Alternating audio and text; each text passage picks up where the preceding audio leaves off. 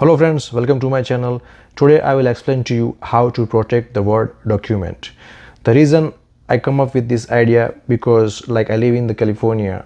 It doesn't matter where you live but like uh, in this digital world you have to have like so many IDs and so many password that is so hard to you cannot remember that all and uh, if you keep somewhere there are chances that get stolen and you get uh, be in trouble so the best thing is that you can have some secure or protected document and in that one you have the list of all the websites or all the utilities that you are paying. You should have the, all the ids and password there with the hint not the full never put your full password at anywhere because it's not secure at all anytime. So uh, let's I will share my screen with you and you can learn from there that how you can simply uh, follow the steps and uh, secure your Word documents and then use it.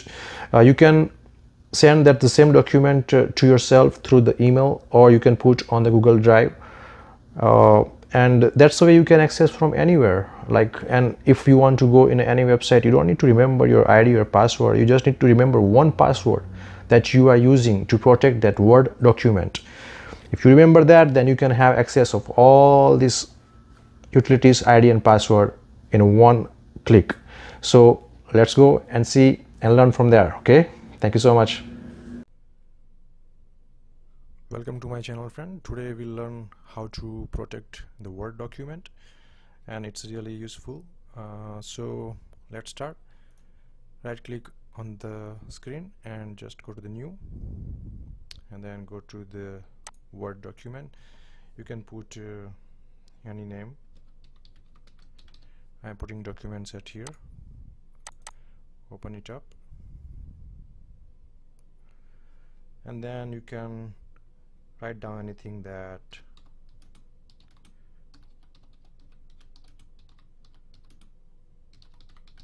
how to protect word document. So what you can do click on the file before protect the document let's see. Let me show you at here. You can put any title at here. It will be display on your documents. You can put any tag you can put any comments on it. Even you can put your name at here as a author.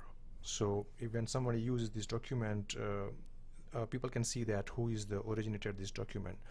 Now let's go back, uh, back to the uh, how to protect the document. So you when you click on the file you already have this uh, here protect the documents you need to click on it and then you can consider is it a final or encrypt with the password uh, restrict editing and things. But as I said let's go with the password. So you can choose any password. Here I am putting ABCD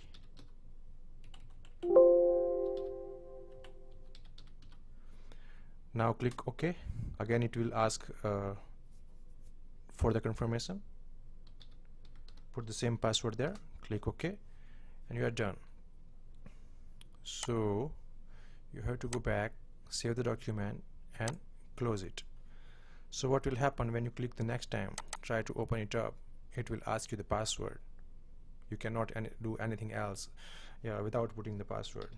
So put the password same that you did and then the document will be open. The reason to do that that in the nowadays like uh, we are using everything online like our all the Facebook account and uh, Twitter and uh, Instagram and all the things and we pay online in lots of websites so we don't uh, know the password or anything.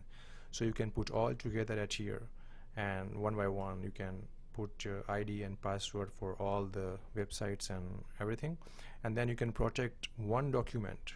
You can send yourself in an email this document or you can put anywhere you like in the USB or somewhere. So whenever you want to uh, log in into the any website or anything it's uh, easy to access from everywhere. And when you try to open it will always ask you the password. Without that you cannot do anything. So this is really very useful. So hope you learn it. And uh, if you have any question or comments uh, please ask me. Uh, write down below on my video and then I will uh, revert back to you as soon as I can. Thank you for watching guys.